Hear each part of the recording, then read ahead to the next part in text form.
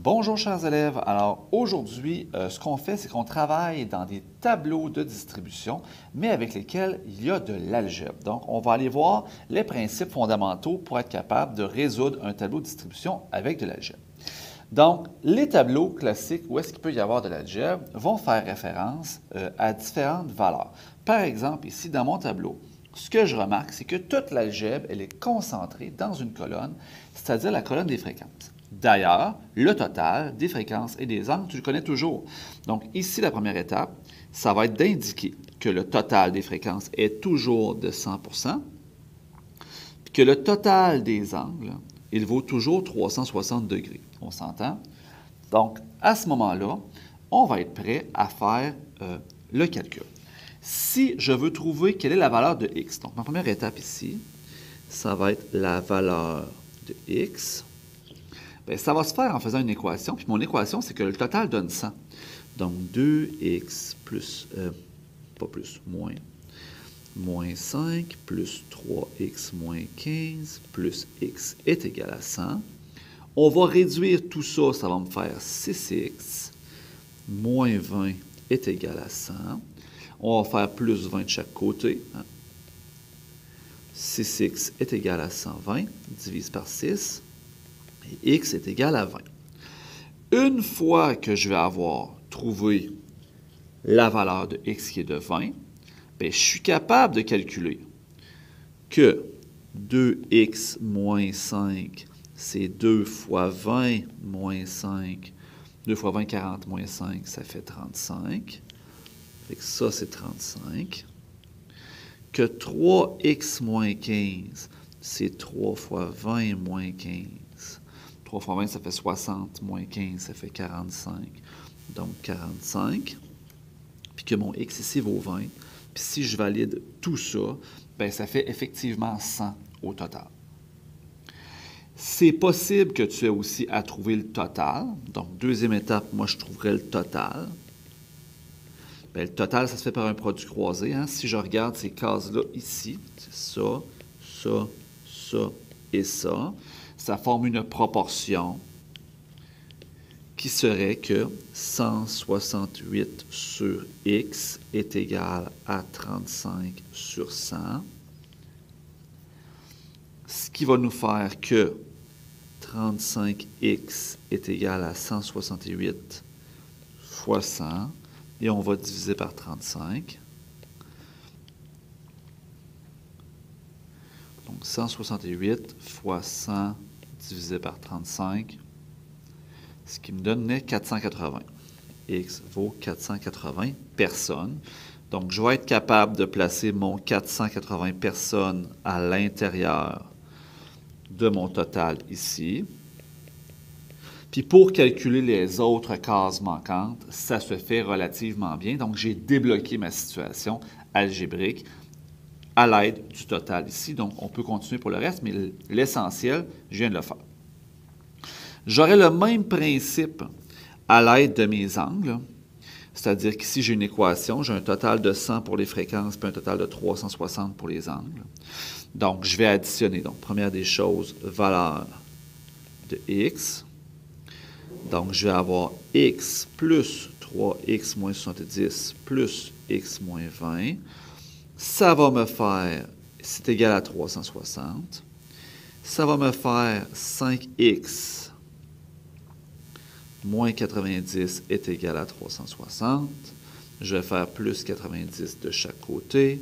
5x est égal à 450. Divise par 5, divise par 5. x est égal à 90. Donc, ici, j'ai 90. 3x moins 70, c'est 3 fois 90 moins 70, ça fait 200. Donc, 200 degrés. Puis x moins 20, c'est 90 moins 20, ça fait 70.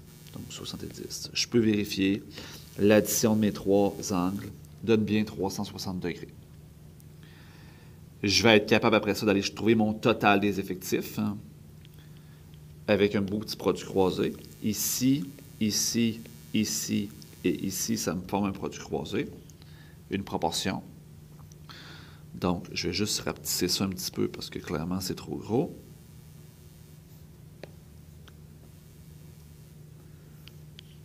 Et j'y vais avec 2 total effectif avec 14 sur x égale 70 sur 360.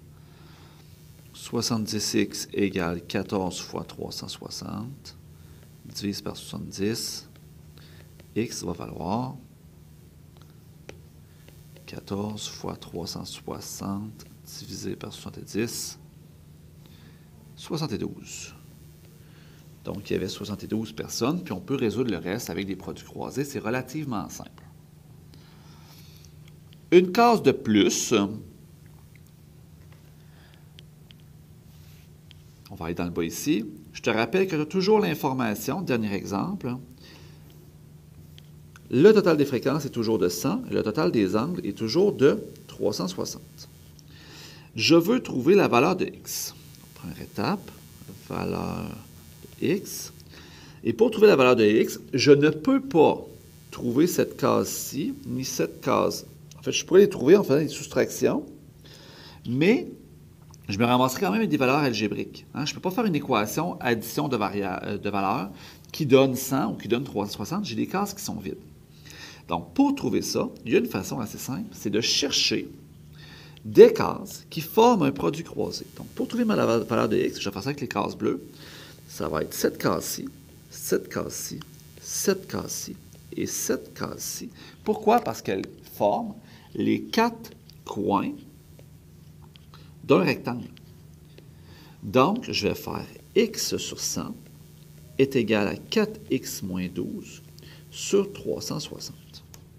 Produit croisé, 360x, on a déjà fait ça, égale 100 fois 4x moins 12. Je te rappelle, il faut mettre une parenthèse parce qu'il y a une distributivité à faire. Ça va faire 360x égale 100 fois 4x, 400x, puis 100 fois moins 12, moins 1200. On va soustraire les x du côté où il y en a le moins. Donc, on pourrait faire... En fait, ici, comme j'aurais plus de x à gauche, je vais enlever à droite. Moins 400x, moins 400x, ça fait moins 40x égale moins 1200. Je divise par moins 40. Et x vaut 30.